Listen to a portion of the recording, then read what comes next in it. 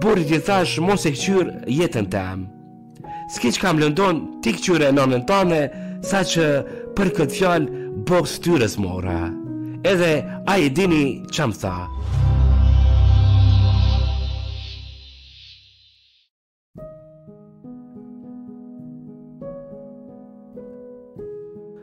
Përshëndetje. Dua ta ndaj edhe unë pjesën e jetës së hidhur me ju grupi. Vërtet po jam e shkatërruar.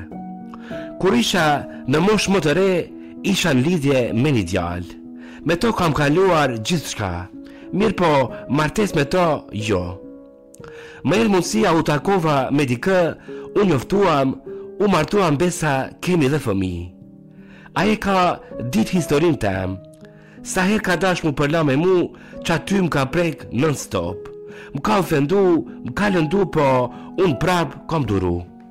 Jam shtatzanë, ndërsa burri im s'më don, saqë para ca dite kemi pas problem me familjarët e tij.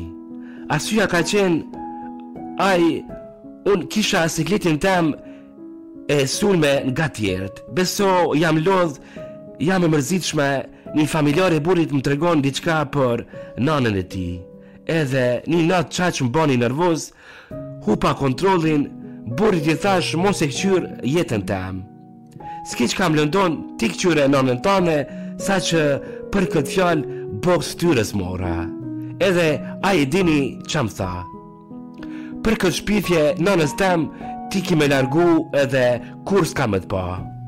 S'di çfarë të them, ndoshta kam gabu që e fola, po humba kontrollin pasi burri nuk e din sa po më lëndon. Nuk kam ku të shkoj se nuk kisha nejt 2 minuta ma shumë, se s'po du me poshtërsu unë sa vite këqyri fmi nga burri s'lypi një euro. Se thom ka obligime mos i lypi ma shumë, ndoshta vuaj për gjithçka, po prapë s'i lypi e në fund e keqe.